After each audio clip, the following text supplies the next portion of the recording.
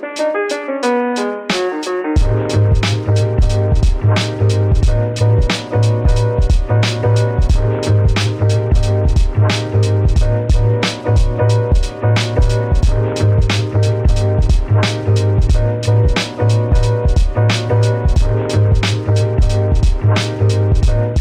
что, сейчас у нас второй день карантина, я нахожусь в Кракове, в Польше. Буквально на этой неделе, в конце этой недели объявили в стране карантин.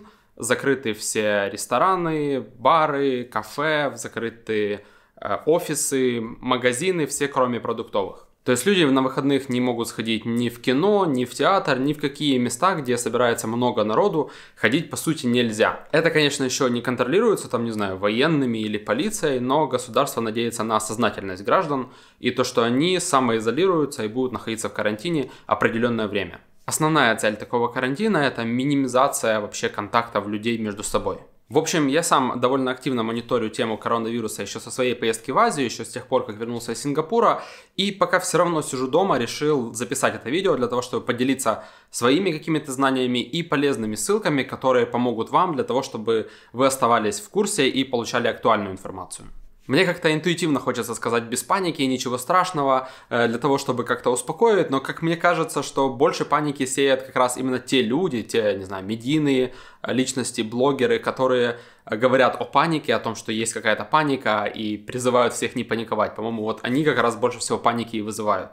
Связано это с тем, что накануне карантина в некоторых странах были пустые полки в магазине. То есть люди приходят в магазин, видят пустые полки и думают себе, что, наверное, была какая-то паника. Люди ворвались в магазин, разгребли просто все продукты, э, там, не знаю, гречку, рис, туалетную бумагу и призывают всех не паниковать и смеются над теми, кто якобы паникует. Мое видение ситуации немного другое. Я, в принципе, каждый день перед карантином ездил в какие-нибудь магазины, покупал какие-нибудь продукты и еще ни разу не видел никакой толпы народу, которые в панике загребают с полок э, что-либо. Люди просто решили перед карантином запастись какими-то продуктами и купили больше, чем покупают обычно. При этом люди абсолютно спокойно ходят по магазину, ложат продукты в корзину, идут на кассу, расплачиваются и едут домой. Да, действительно, ближе к вечеру, за несколько часов до закрытия магазина, некоторые полки с некоторыми продуктами оказываются пустыми. Утром же доставляют новую партию, ее выкладывают на полки и в магазинах снова полно товаров. Поэтому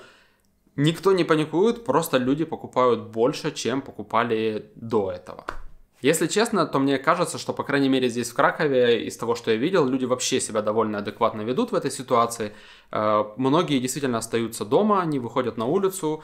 Некоторые выходят на улицу, но стараются держаться на расстоянии. То есть, если кто-то вышел на пробежку, он просто бежит себе и ни с кем не контактирует. И также люди перемещаются на автомобилях. Как известно, в автомобиле меньше шансов распространить заразу, либо же э, получить заразу извне. В общем, основная мысль в том, что ничего страшного не происходит, по крайней мере, пока что это все превентивные меры для того, чтобы не допустить дальнейшего распространения вируса. И давайте теперь поговорим о том, насколько же все плохо, что вообще такое коронавирус, что это все означает и чего стоит ожидать. Просто из того, что вижу я, есть очень много противоречивой информации. Разные СМИ и блогеры говорят абсолютно разные вещи. От того, что все очень плохо и все человечество обречено, до того, что на самом деле никакого вируса не существует, и все это просто маркетинг, и чуть ли не владелец э, Алиэкспресса это все придумал для того, чтобы заработать на масках. Это все, конечно же, неправда, потому что это какие-то крайности, и, и на самом деле правда где-то посередине, и давайте попробуем разобраться, где же она. И давайте немного отмотаем все назад, немножко поговорим о базовых вещах. Если вы, к примеру, этим не интересовались и не знаете, как это работает, то э, на самом деле инфекционные заболевания в организме человека вызывают две вещи. Это вирусы и бактерии. Между ними есть принципиальная разница. Бактерии это клеточные организмы, которые могут размножаться вне организма человека просто простым делением. Просто простым делением. Да, именно так.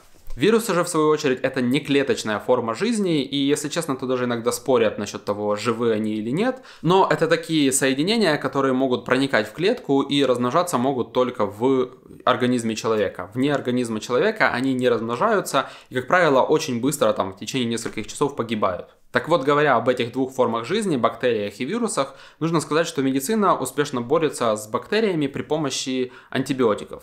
Там, конечно, есть свои проблемы э, с тем, что бактерии мутируют, и не все антибиотики могут справиться с супербактерией, которая может появиться в ближайшем будущем, но это вообще отдельная тема, нас это не интересует, нас интересуют вирусы. Так вот, от вируса эффективного лечения просто нет. Есть определенные противовирусные препараты, но они, как правило, не приводят к желаемому результату. Потому что медицине пока неизвестны такие средства, которые могли бы убить вирус внутри организма человека. Вирусы, которые проникают в организм человека, вызывают определенные заболевания, такие, например, как пневмония, что и делает вот этот вот COVID-2019. И вот здесь первый и очень важный момент, который нужно понимать.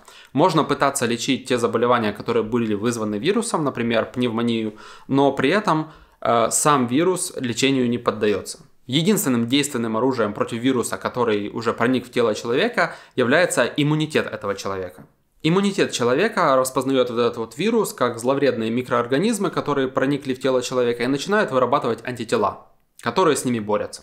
На выработку вот таких вот антител и победу над вирусной инфекцией уходит до 7 дней. Поэтому, собственно, люди и болеют вирусными инфекциями, такими как грипп, около 7 дней. Поэтому защитить ваше здоровье и жизнь во время этой эпидемии вам помогут две вещи. Первое это просто попытаться предотвратить заражение, то есть обязательно часто и не менее 20 секунд мыть руки. А, мыть их нужно не там каждые полчаса, не каждые 15 минут, а каждый раз, когда вы возвращаетесь домой, когда вы находились в каком-то публичном месте и, возможно, трогали какие-то поверхности, которые мог трогать другой человек. Если же вы находитесь дома на карантине, то есть смысл мыть руки в обычные ситуации, когда вы их моете, там, не знаю, после посещения туалета, после того, как вынесли мусор. Ну и, возможно, добавить пару профилактических подходов к умывальнику перед тем, как вы принимаете пищу, или просто там дополнительных несколько раз в день. Также рекомендуется пить довольно много жидкости, но на самом деле я не буду вам рассказывать все рекомендации. Я лучше оставлю ссылки в описании, где об этом можно будет подробно прочитать, поскольку я не врач и пересказывать то, что говорят специалисты, не имеет смысла, лучше сразу почитать то, что говорят эти специалисты.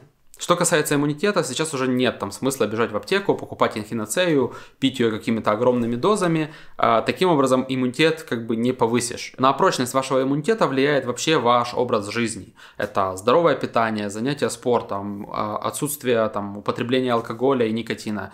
Такие вещи. Поэтому Просто стоит над этим задуматься и принять, возможно, какие-то решения в своей жизни, которые уже сейчас, конечно, там экстренно не поправишь, но на будущее. Теперь по поводу э, самого коронавируса, да, то есть это название как бы и правильное, и неправильное одновременно. Просто его проще произносить, чем официальное название COVID-2019. Но на самом деле коронавирус это семейство вирусов, там около 40 разных видов. Получил он такое название, потому что сам вирус по структуре имеет э, определенные отростки, которые напоминают солнечную корону. Поэтому он называется коронавирус. Точнее, семейство вирусов называется коронавирусы. Просто недавно кто-то из моих бывших сокурсников постил видео о том, что человек недоумевал, э, как это так, коронавирус, новый вирус, неизвестный человечеству, когда вот в учебнике по биологии, э, там за 11 год, есть вот отдельный раздел коронавирус. Это семейство, и таких уже вирусов известно человечеству около 40, и вот, вот этот вот вид, который появился в Китае, в городе Ухань, это новый вид э, семейства коронавирусов. Поэтому его официальное название COVID-2019, коронавирус это общее название для многих вирусов, ну, оно сейчас более принято в СМИ и вообще все называют его коронавирус, поэтому чтобы не было каких-то непоняток здесь, э, это не новое семейство вирусов, оно действительно известно человечеству уже довольно давно, но вот, вот этот конкретный вид, он новый, он появился вот буквально там э, в декабре, может чуть раньше прошлого года, и вот сейчас бушует по практически уже по всему миру. Теперь насчет той информации, которой можно доверять. Не стоит верить на все 100% СМИ, не, не нужно верить на 100% разным блогерам. Мне тоже доверять не стоит на 100%. Э, все проверяйте из каких-то более-менее официальных источников. Я оставлю ссылки в описании на вот такую страницу со статистикой. Это официальная статистика, она довольно часто обновляется. Здесь мы видим общее количество людей, которые заболели. Э, есть э, вот зелененьким выделено количество людей, которые уже выздоровели. Э, в принципе, это там, почти 50%, что довольно хорошо. И также есть подтвержденное число количества смертей от текущего вируса. И на самом деле в процентном соотношении это довольно невысокий показатель смертности, буквально 3-4%. Это, конечно, выше, чем у того же гриппа, там где-то около 1% или что-то около того. И действительно, если у вас все нормально со здоровьем и вы молоды, то даже если вас э, заразят этим вирусом, э, бояться не стоит. Очень большой шанс просто пройти 7-дневный период и вылечиться, и выработать иммунитет к нему. Но, тем не менее, хоть эти относительные э, числа по показателю смертности и небольшие, их часто там сравнивают с показателями смертности смертности от сердечно-сосудистых заболеваний и говорят, что вот смотрите, вот это люди погибают вот такими цифрами, а вот здесь настолько немного, почему мы там ни о чем не говорим, а здесь бьем тревогу. Нужно понимать, э, что есть такой показатель, как заразность. Э, сердечно-сосудистые заболевания, они передаются просто через контакт, через рукопожатие или там, не знаю, через поцелуй. Для этого нужно довольно долго работать и доводить свой организм до определенного состояния, чтобы у вас были проблемы с сердцем. Ну или это просто приходит с возрастом. Здесь же все происходит моментально, то есть вы пожали руку человеку, который просто кашлянул в нее или чихнул, э, и все, потерли глаз и считайте, что у вас уже есть этот вирус. И вот эта заразность, она и есть основным фактором, почему сейчас все э, государства и а, Организация здравоохранения всемирная, они бьют тревогу, закрывают границы а, для того, чтобы не допустить распространения этого вируса на всю планету, на всех жителей нашей планеты. Потому что 3-4% от нескольких тысяч людей это небольшое число, но если взять 3-4% от 8 миллиардов людей, то вы сами понимаете, что это катастрофические цифры. В общем, официальные числа смотрим на вот этом сайте. Как я говорил, он довольно часто обновляется, и там действительно актуальная информация. Что касается каких-то мер, которые предпринимаются в мире и каких-то рекомендаций, то э, читайте все на официальном сайте Всемирной организации здравоохранения. Это специальная организация, которая занимается этим вопросом. Там работает множество специалистов, которые не новые в этом деле, которые являются сертифицированными специалистами, э, в отличие от нас, блогеров и, и даже некоторых представителей СМИ, которые просто, не знаю, раздувают э, новости. Бывает иногда новость написана э, об одном, а заголовок вообще настолько кричащий и чуть ли не говорит что-то другое для того, чтобы просто завлечь читателя. Поэтому не верим СМИ, не верим блогерам, читаем э, официальные статьи на сайте Всемирной организации здравоохранения. И, конечно же, прислушаемся к тому, что говорят правительства ваших стран или стран там, где вы живете. В моем случае это Польша. В данном случае очень многие страны вводят карантин, а, просят оставаться дома, лишний раз не выходить из дома, если нет особой необходимости. Если вы во все это не верите и считаете, что все это всемирный заговор и обман, то вы, конечно же, можете идти гулять и контактировать с другими людьми, но просто подумайте о том, что если вдруг вдруг маленькая вероятность, но окажется, что это все правда, и вы заболеете, то куда вы будете обращаться? Не к тому ли государству, которое просило вас по возможности не выходить из дома и не контактировать с другими людьми? Просто подумайте об этом. Теперь, что касается путешествий. Конечно же, вот в этой ситуации, в которой сейчас находится весь мир, э, по крайней мере, ближайший какой-то месяц, путешествовать будет затруднительно. Ну, то есть, если вам очень нужно, то вы, конечно, скорее всего, сможете найти какой-то билет и куда-то улететь. Все зависит от того, из какой страны вы вылетаете и куда.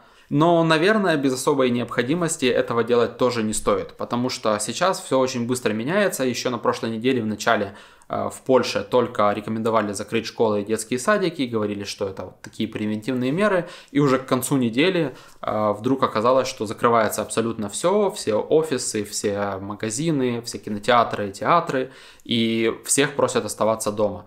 То есть буквально вот за неделю, даже там не неделя, а 4-5 дней, все очень быстро развивалось и все очень быстро дошло до вот таких вот ситуаций, и многие страны Европы в принципе закрыли границы какие-то полностью, какие-то частично, кто знает, что может произойти в этой поездке, которую вы запланировали.